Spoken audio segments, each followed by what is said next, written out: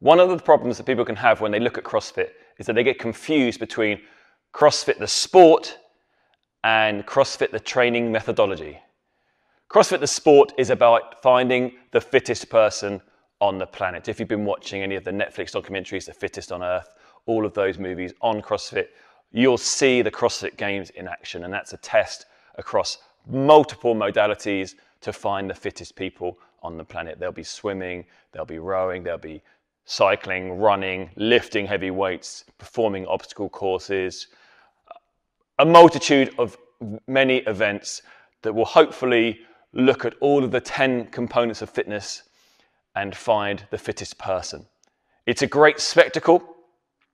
It's an incredible competition to watch, and it can be really inspiring. And actually, if you watch the CrossFit Games, one of the great things about CrossFit is because our community is still quite young and fairly small, the majority of athletes will share how they work out on social media. So you can also watch those athletes training for these major events. And that could be a super way to motivate you to get training. However, the first problem with that is that it can intimidate people that are looking at starting CrossFit. The best comparison I can make is someone thinking about going for a jog for the first time. And the only time they've seen anyone running is watching a marathon. So they think, oh, how can I go running when I have to go 26 miles? That's what you're looking at when you're looking at the CrossFit Games. You're looking at the elite of the elite testing themselves to the absolute lim- limit, performing five, six workouts a day in competition and also sometimes in training as well, training throughout the day for multiple hours. And, and they'll be performing some feats and moving some weight that is unimaginable. The same as the world record marathon pace is unimaginable when you actually step onto a treadmill and try to run at that pace. CrossFit, the training methodology, is not about finding the fittest on earth through those 10 components of fitness. It's about getting you to your fittest and measuring it amongst those 10 components of fitness. We want people to be faster, stronger, with better endurance and mobility, balance, coordination, accuracy, all of those factors of fitness. But when people have seen the CrossFit Games, obviously to sell them that can be quite challenging. So, first of all, if you are thinking about taking part in CrossFit, look at the CrossFit Games as an inspiration, but don't think of that as what we would do here inside a CrossFit affiliate, CrossFit box, as we like to call it. What we do here is build people up, modify workouts to fit every age, every gender, every uh, ability, and ensure that everyone within our training facility is performing the workout that will give them the same stimulus as the other people training. So, for example, if we had a you know mid 20s star athlete who was performing and she was able to do handstand press ups, muscle ups on the rings, and move a snatched a snatch a barbell, you know, of 60 kilos on top of it.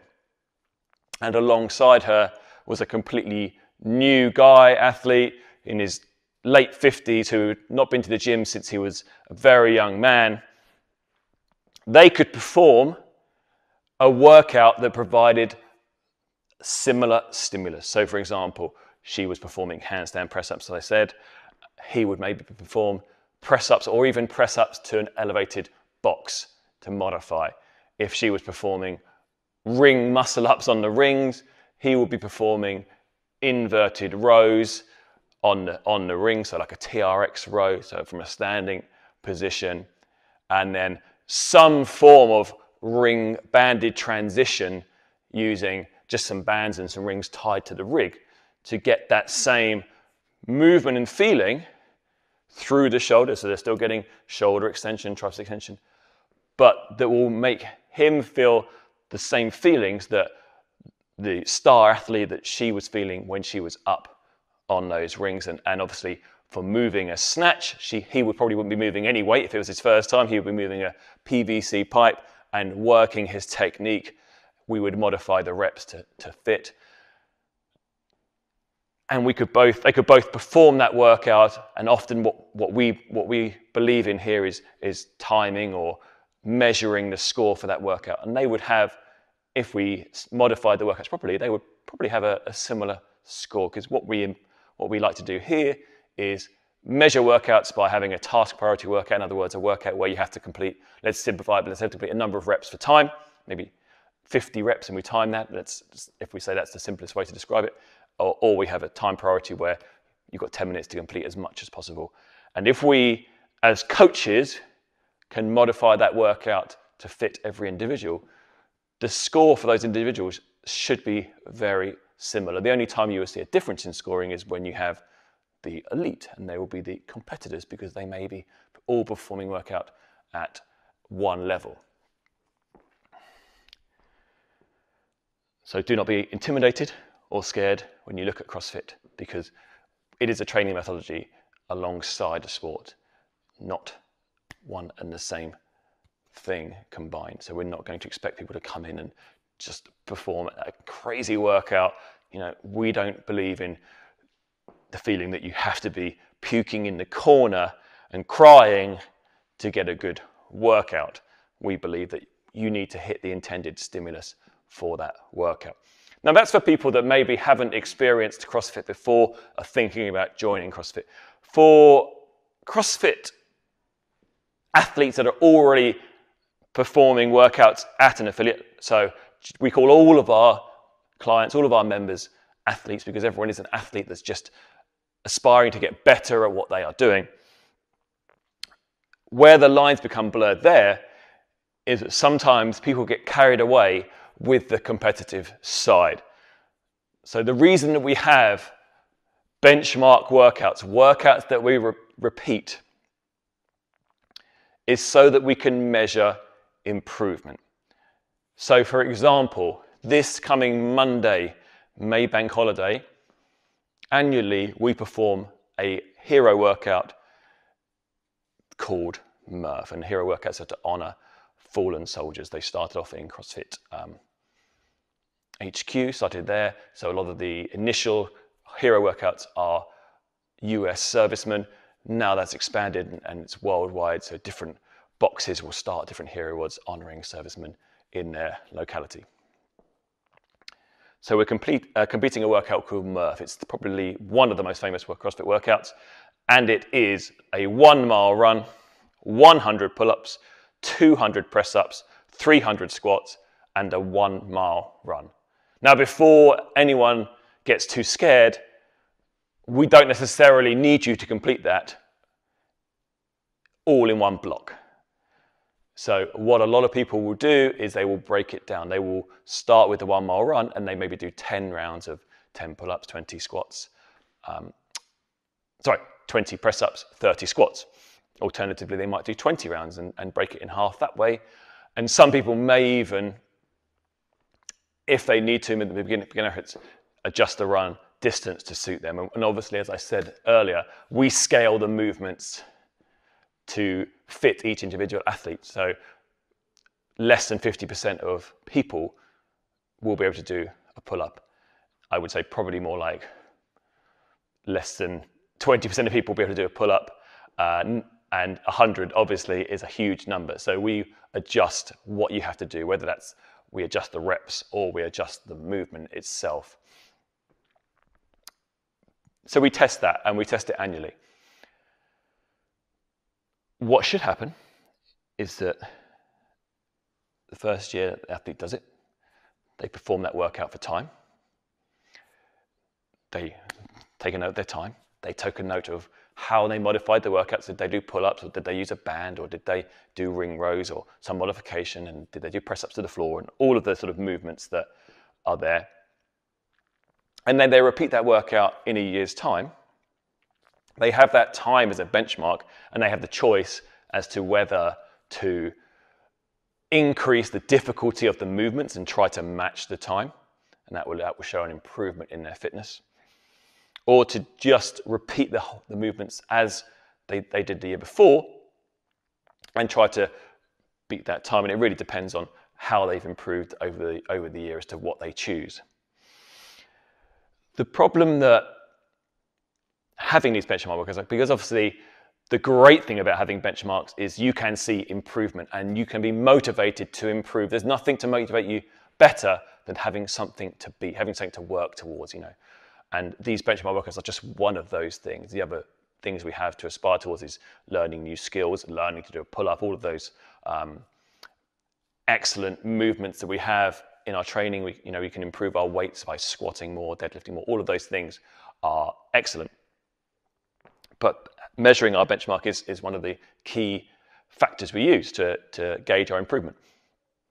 The issue that we have is that what can happen, especially on, on movements that involve body weight, is a breakdown in form and also what we would call shortened reps.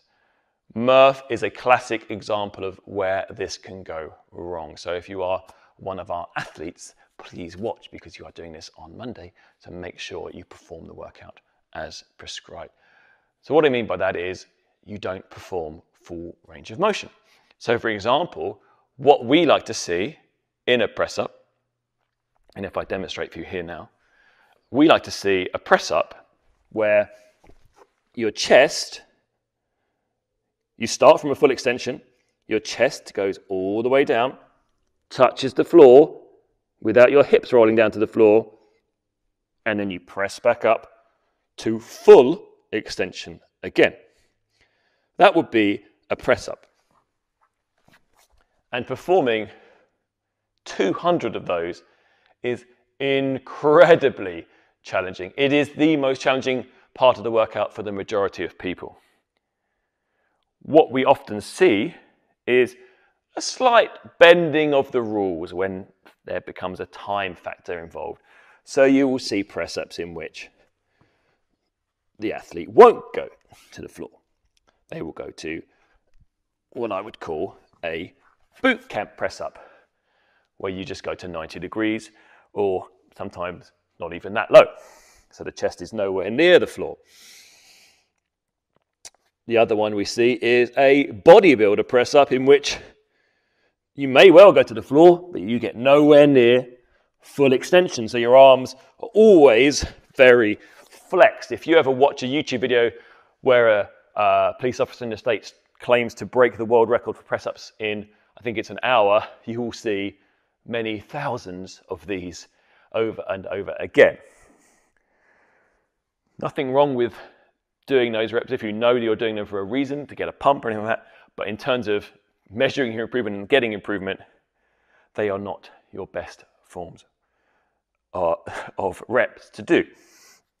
In addition, you'll see uh, press ups where the hips go to the floor and maybe the chest doesn't go to the floor. If the chest does go, you see what we call a worming up as well, where you're actually not lifting the same amount of weight. You're doing almost like a um, seal pose, a yoga pose here, upward dog, and then you're rolling up from there.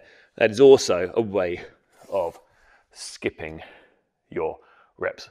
And the problem with all of that is that, first of all, you're not going to get an accurate benchmark number. And, you know, what often happens, and I've seen it in multiple years of training people, is that when you have someone like myself who's quite a vigilant judge watching someone doing a workout as, as this, and they time the workout, and maybe they did it a year earlier without such a vigilant judge watching, there could be a 30% increase in their time from the year previous just because of the rep standards. And that's really important.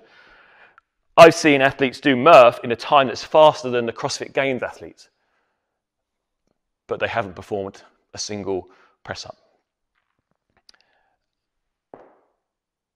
That's getting confused between ego or the sport and the training methodology. So let's set aside the fact that it's giving you a false time. Because in theory, if you did bad press ups all the time, you would get a measurable sort of way to track your improvement. If you never changed your, your standards, you would see some improvement over time as long as you could guarantee that that standard there. But we, the reason we have chest to floor into full extension is because it's a definite position you can measure. That's the first reason. The second and more important reason is if you are looking to get stronger, you want to train your muscles through their full safe range of motion. For example, anyone out there who wants to get better at pressing a barbell, bench press, the sort of the big ego number for most guys in the gym. Well, where does the bar start in a bench press? Well, it should. It should. And again, you'll see some terrible, terrible reps, not just in a CrossFit gym, in fact, more often in a regular gym, um, where the bar doesn't start on the chest. But it should start on the chest and it should extend to full extension. That's, that's how you measure a bench press. Well, if you're never doing a press up to your chest, to the floor, and you're never getting to full extension, how can you expect your shoulders, your, your, your pecs, your triceps to be getting stronger for that bench? And that would apply even if you were doing an overhead press, getting that full range of motion in the, in the press up is going to help in your overhead press and your ability to do handstand press ups, all of those movements. So it's really important you hold yourself to some kind of account on that. That's the same also we'll see, I'm not going to show you right now because I have to move the camera around, but also when you see a pull-up, you'll see people do pull-ups where they don't get the chin over the bar and or, and or they don't come down to full extension. In fact, you see this sort of short pull-ups as often as you see them not getting over the bar. And again, both times, you're not going to get the strength through your lats, you're not going to get the strength through your bicep. You're going to get half the gains you would get from doing full range of motion. If your aspiration is to get better and fitter and be able to move on to greater things like muscle ups and all of those things that you see in the CrossFit Games, then it starts with having full range of motion on every single rep. The simplest movements are often the ones that are performed poorly. The other movement that is performed poorly in Murph and, oh my God, in boot camps horrendous, but in Murph especially, and in, CrossFit workouts, is an air squat. And uh, like I say, I, I, call out boot camps, but I've seen our members do them equally as poorly, and I'm, I'm, very vigilant on this, and I know that our coaches are as well. But you know, you, your eyes can only be in a certain corner of the room at a certain time, but you will see a squat, and you see that the, the two or maybe both variations happen, and this is a squat should be, and I struggle with squat mobility. Everyone who trains with me knows that I have issues with my ankles that I complain about all the time. Um, I need to stop, stop whinging, but I now have issues with that. But you need to make sure that you get your hip crease below your knee. Now, if we had someone who was loading the bar, and maybe it wasn't safe for them to go below parallel, that's a different issue. But if we're doing body weight, then we should all be able to get to that position. Or the vast majority of us. The other thing that you see when you see an air squat is, and a body weight squat is what we call it here, is not getting up to full extension. Either this is full extension here, by the way, standing up. What you see often um, when you watch people doing this is you see a movement where they maybe go below parallel, but then they come to here. Or they come to here. So it's like this okay? Not coming up fully. So if you're not coming up fully, you're never using your glutes, which is what we want to be using. And the same if you go down as well, by the way, your, your glutes are firing on the way down. You're not using your glutes, you're not getting that hip extension through there. Your body is staying in hip flexion throughout the movement. I talked in previous videos about uh, how tight people are in their hip flexors. And again, we're not going to get an accurate measure or benchmark to set for that workout. I, remember myself participating in boot camps with clients who maybe um, were a bit intimidated to go to them for the first time. So I said I would join them for these boot camps. And I would nearly always be the last person to finish some of these body weight workouts, in spite of the fact that I, I I like to think that I'm fitter than maybe the average person, maybe not the fittest here at my CrossFit affiliate, but fitter than the average person. But I would always finish near the end because what, what exercises do you see performed in boot camps? Press ups and squats. And when people are doing half range press ups, half range squats, it's massively quicker, probably twice as quick, if not more. So you can really shave time and shave your results. In other words, get fewer results, less results by performing substandard reps. So it's really, really important that you put aside your ego and you put aside the sport and you think about being virtuous in everything that you do in your training. And that's what our methodology is as coaches here at CrossFit Chiltern. We want people to get fitter across the board, and we want people to see improvement. And we know that that improvement can only come from reps being performed to a high standard. And yes, if we are seeing that, then we'll be pushing you to work harder and faster and to, if we're talking about weight, if we see great form, we'll be looking to you to increase your intensity by adding more weight and adding more difficulty to your movements. But only and only when you can perform the reps correctly. So when Murph comes around on Monday, we are going to make sure that people scale appropriately. If they don't have the ability to do 100 pull ups, even broken up over 20 sets at full range of motion, then they need to either modify the number of reps they're going to be performing or make those reps easier. Now we are in lockdown, so some people won't be performing pull-ups. They'll do a modification, whether that's a row, whether that's a row with a weight. But anyway, we want to make sure that they are finding that same stimulus that they should be getting from doing those pull-ups. And the same for press-ups. If people can't perform 200 press-ups, even if broken down into sets of 20 or sets of 10 or however we, we want to break those down, um, we will modify those. So we will elevate their hands up or we will get them to do them kneeling. Um, I have some issues with kneeling press-ups just because people can adjust their positions, but kneeling is, is better than not doing full range of motion uh, with your full press up position. For air squats, if someone isn't sure whether they're getting all the way down, they, are obviously going to be sure if they're coming all the way up because they'll be stood upright, hopefully. Um, then I, I always recommend them putting something that they can just as, as a touch marker. So uh, a, a, a, low stool, or we use often use one of our medicine balls here to go down towards, and it can make a real difference in the time of that workout, but also how that workout feels. It will feel much tougher. It will also uh, you'll get more of a DOMS the next day because you'll be working some range of motion that maybe if you haven't been doing that regularly, you haven't done before, and therefore you're going to get a lot more benefit because you're going to be hitting more muscle fibers, you're going to get more training effect from that workout. And that's what we want to see. We want to see everyone getting the maximum training effect from every workout. So do not get confused between CrossFit, the sport, and CrossFit, the training methodology. The sport is about getting stuff done as fast as possible for competition. And that may involve some breakdown in form. Now, we're not coaching that here, but we may, if someone here's a competitor, we may coach some ways to be more efficient, but we're not going to coach them to move in a division where they're going to hurt themselves. And the athletes that are training for the games also are not training in such a way that they are looking to injure themselves. They're training a way to make sure that they stay free of injury so they can perform at their best at the event. But during the event, if the time comes and they have to push that last final workout to win the event, they're obviously going to do whatever it takes, and that may involve some poor form. So if you do see poor form in some of those competitions, don't think, oh, that's how they train in the gym. That's just someone trying to bust themselves to get over the finish line.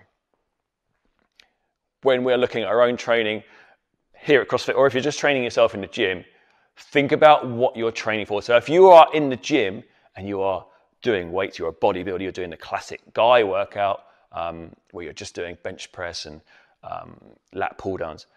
Think about the form of that movement and choose a weight that's appropriate that's going to get you that form and that, those results. Don't just push the maximum weight for your ego because someone's you know walking past and you want to show off to them.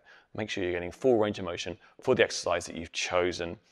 Even powerlifters don't perform max reps outside of competition, or they very rarely do. They have what they call a training max, which is the, the most they can move safely and efficiently in training. And the competition max will be greater than that because that's where they're pushing themselves beyond that safe barrier to win a competition. So think about whatever you're doing in your training to be virtuous in your movement and look at what you're trying to achieve from that session. And if you're, what you're trying to achieve is just to get the best time on a board at the expense of everything else, then ask yourself why you're trying to do that because it's not going to get you necessarily fitter. It's not going to get you uh, the results you want, body composition or looks wise, aesthetic wise. It's just going to have a number on a score sheet. And if that's your goal, if your goal is just to become top of the leaderboard in whatever leaderboard, whether that's a leaderboard in your head or whether that's a, a leaderboard that you, you know, we have an app where we score our workouts here. It doesn't matter, but if that's all that matters to you, then absolutely fine. You know, feel free to go ahead, but just be aware um, that it, it, won't get you any results that you that you're looking for. I would say, unless that is the only result you're looking for, is just to be top of the leaderboard every single day. In that case, fire away, do some dodgy reps, and maybe even skip some reps. You know, don't even bother doing reps. Just write a score down because if that's what you want to do, great. Um, kudos to you. I hope you enjoy your training. For the rest of us, let's think about training effect. Let's think about what muscles we're trying to use. If you're unsure and you're doing an exercise and you're not sure what muscles you should be feeling, then always obviously ask a coach because a coach will tell you what you should be feeling and how it should feel. And they may even look at you and, and be able to tell you, are you doing it correctly? And therefore, are you going to get the maximum results? Or are you just doing something that maybe looks similar but isn't going to get you the results you're trying to achieve? And that's where you need to differentiate. And, and that's where we need to differentiate with CrossFit is that CrossFit is about getting you fitter. The CrossFit sport is about winning. And we want to get people fitter. And some people may then go into the sport. That will be their choice. I hope you've enjoyed this video of me trying to clear up a little bit of what CrossFit is all about and those of you that are competing or, uh, sorry, training in CrossFit, getting confused myself there, they're training in CrossFit. You take these lessons with you when you're in your next training session. And if you're training on Monday, take this on board because it is super important. I would rather see someone perform a workout slower, but I know that all of their reps are excellent rather than just trying to beat times because just trying to beat times in the long term will not get you any results apart from that number. If you'd like any more videos, I hope you're enjoying these.